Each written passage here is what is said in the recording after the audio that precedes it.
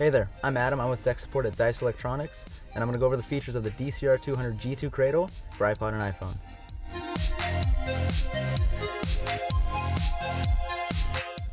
Right now I'm in the backseat of a Mercedes ML63 and we have the DCR200 G2 Cradle installed. With this cradle, it'll hold and charge my iPhone, and the key feature is that it has an audio video output, which means it can be hooked up to any screen with composite video inputs and it'll stream the audio and video right through.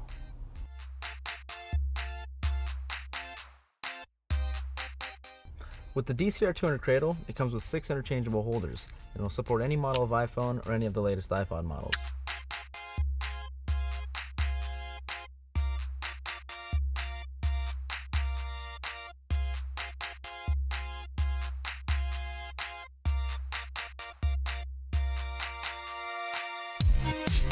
For charging, it comes with a USB charging cable, so it can plug in any USB port, and if your car doesn't have a USB port, it also comes with a cigarette lighter adapter.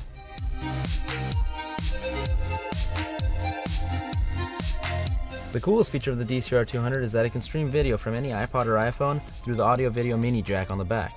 You can use the included cable, plug the mini jack in, and the other end can be plugged into any composite inputs on any TV screen, just like this one.